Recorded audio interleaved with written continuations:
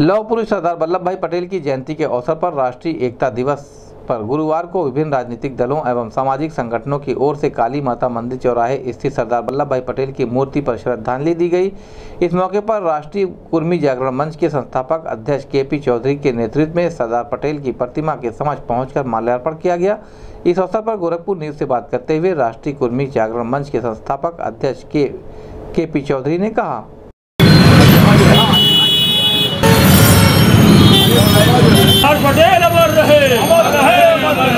सरदार पटेल अमर रहे अमर रहे। अमर रहे राष्ट्रीय कुर्मी जागरण हुए जिंदाबाद जिंदाबाद। जब तक सूरज चाँद रहेगा पटेल जी का नाम रहेगा सरदार पटेल अमर रहे हमारा विशाल पूरा जब तक सूरज चाँद रहेगा पटेल जी का नाम रहेगा पटेल जी का विशाल पूरा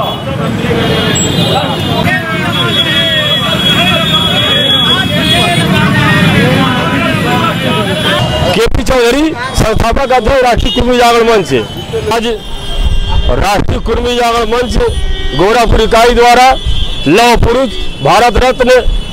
सरदार वल्लभ भाई पटेल जी की एक सौ चौवालीसवीं जयंती गोलघर काली मंदिर प्रतिमा पर जो है मनाया गया है। और